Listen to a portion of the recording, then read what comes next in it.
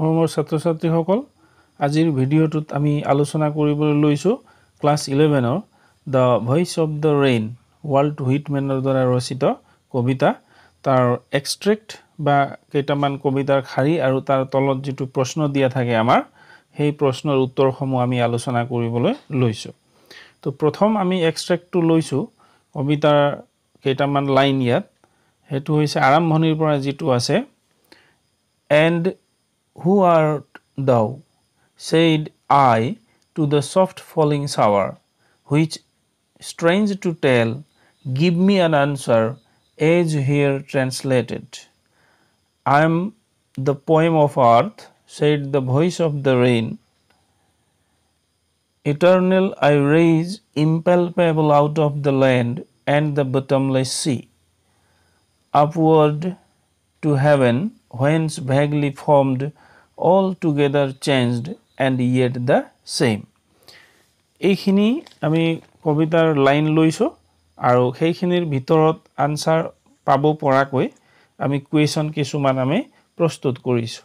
প্ৰথম কুৱেশ্যনটো হৈছে who is the poet of these lines answer হ'ব the poet of these lines is Walt Whitman next question where do these lines occur এইটো first ইয়াৰ পৰীক্ষাৰ sixteen eighteen দুইটা বছৰ আহিছিলে।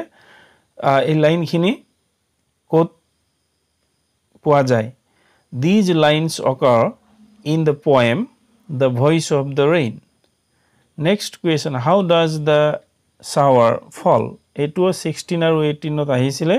The shower falls softly next where does the rain rise from এইটো ছিক্সটিনত আহিছিলে। The rain rises from the land and the bottomless sea সহজ question আছে সেইকাৰণে মই ইয়াৰ অৰ্থ কৈ দি থকা নাই। Next question what does the poet আক্স the rain এইটিনত আহিছিলে এইটো। The poet asks the rain who art thou next এনেকুৱা কুৱেশ্যন হ'ব পাৰে। Find a word in the passage that means that can not be touched ইয়াৰ এনচাৰটো আমি অকল answer ৱৰ্ডটো লিখি দিলেও হয় কিন্তু যদি চেণ্টেঞ্চ হিচাপে লিখোঁ অলপ মিলাই লিখিব লাগিব শুদ্ধকৈ। The word in the passage that means that can not be touched is impalpable অৰ্থাৎ that can not be touched এই কথাৰ অৰ্থ বুজোৱা শব্দ কোনটো? হ'ব যিটো আমাৰ এই লাইনবিলাকত আছে কবিতাত আছে আমাক ইয়াত উল্লেখ কৰা লাইনবিলাকত সেই শব্দটো হৈছে ইম্পেলপেবল নেক্সট কুৱেশ্যন হ'ব how does the rain describe itself ৰেইনে কি বুলি কৈছে নিজকে? The rain describes itself as the poem of earth next question what does the poet translate the poet translates the answer of the rain to the poet's question কবিৰ প্ৰশ্নৰ যিটো উত্তৰ দিছিলে ৰেইনে বা বৰষুণ জাকে সেই উত্তৰটোক আমালৈ ইংলিছত ট্ৰেন্সলেট কৰি দিছে বৰষুণৰ নিজৰ ভাষাৰ পৰা। চ' এইখিনি কুৱেশ্যন আছিলে আমাৰ ফাৰ্ষ্ট এক্সট্ৰেক্টৰ পৰা।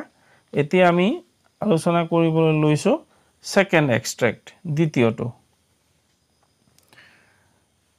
I descend to lap the draughts, atomies, dust layers of the globe, and all that in them without me were seeds only, latent, unborn. এইকেইটা লাইন আমি লৈছোঁ শাৰী লৈছোঁ তো প্ৰশ্নখিনি হ'ল where do these lines occur these lines occur in the poem the voice of the rain এইটো কোন ক'ৰ পৰা লাইনটো অনা হৈছে বা ইয়াৰ পইণ্ট কবি কোন হয় সেইটোতো একেই হ'ব এটা কবিতাৰ। Next question who is the I here ইয়াত যিটো আই ডিচেণ্ড বুলি কৈছে আই ডিচেণ্ড কোৱা ঠাইত যিটো আই আছে সেইটোৱে কাক বুজাইছে? The I is the rain here next question what does the I do to the globe বা আইৰ ঠাইত rain do to the globe বুলিও আহিব পাৰে The rain washes the dross, atomies, and dust layers of the globe. What does the rain do to the seeds? The rain helps the seeds to germinate and get new life. Find a word in the passage opposite to ascent. Opposite word to কি হ'ব ইয়াত কোনটো word দিয়া আছে কবিতাটো The word in the passage opposite to ascent is descent. ইয়াত accentৰ opposite word লিখিব দিছে কেতিয়াবা আকৌ কি দিব ক্লাইম্ব ডাউন ক্লাইম্ব ডাউন বুজোৱা শব্দ কবিতাত কি আছে find a word in the passage that means climb down বুলি যদি আহে সেইটোও ডিচেণ্ড হ'ব ক্লাইম্ব ডাউন বা তললৈ নামি যোৱা মানে ডিচেণ্ড হোৱা। এইখিনি আমি ছেকেণ্ড এক্সট্ৰেক্টৰ কুৱেশ্যনখিনি আমি আলোচনা কৰিছোঁ। এতিয়া আমি লাষ্টৰ এক্সট্ৰেক্টটো ল'ব বিচাৰিছোঁ। Third extract and for ever by day and night I give back life to my own origin and make pure and beautify it for song issuing from its birth after fulfilment wandering reck'd or unreck'd duly with love returns এই এক্সট্ৰেক্টটো two thousand টুত আহিছিলে আৰু প্ৰথমতে দিয়াটো two thousand sixteen আৰু এইটিনত আহিছিলে। এতিয়া আমি প্ৰশ্নসমূহ আলোচনা কৰিব লাগে। What does the rain give to her own origin নিজৰ অৰিজিন জেগাটোলৈ বৰষুণ জাকে কি দিয়ে the rain gives back life to her own origin জীৱন ঘূৰাই আনে। বৰষুণ জাকে নিজৰ জন্মস্থানলৈ জীৱন ঘূৰাই আনে। Next question what are the two things that the rain does to the place of her own origin নিজৰ জন্মস্থানক কি দুটা কাম কৰে বৰষুণ জাকে the rain makes the place of her own origin pure and beautify it নিজৰ জন্মস্থানটোক বৰষুণ জাকে কি কৰে? পিয়'ৰ কৰে পবিত্ৰ কৰে আৰু ইয়াক সৌন্দৰ্যশালী কৰে ধুনীয়া কৰি তোলে বৰষুণ জাকে next question where does the song issue from ক'ৰ পৰা আৰম্ভ হৈছে গানটোৰ the song issues from its birth place আৰম্ভণিটো তাৰ জন্মৰ স্থানৰ পৰা। Next question what does the song return with কি লৈ আহে?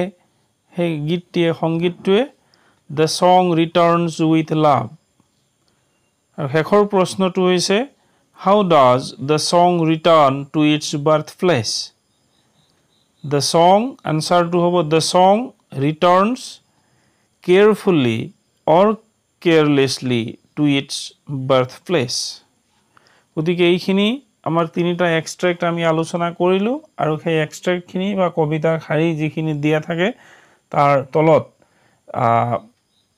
যিখিনি শাৰী দিয়া থাকিব তাত উত্তৰ পাব পৰা কুৱেশ্যন দিয়া থাকিব। আমি সেই ধৰণৰ কুৱেশ্যনৰ এনচাৰ আমি আলোচনা কৰিছোঁ আৰু তোমালোকক কিছু পৰিমাণে সহায় হৈছে বুলি মই আশা কৰিছোঁ। আৰু এইখিনি তোমালোকে ভিডিঅ'টোৰ সকলোৰে মাজত বিয়পি পৰিবৰ বাবে বা সকলোৱে পাবৰ বাবে ভিডিঅ'টোক লাইক কৰি দিবৰ বাবে মই আহ্বান জনাইছোঁ। Thank U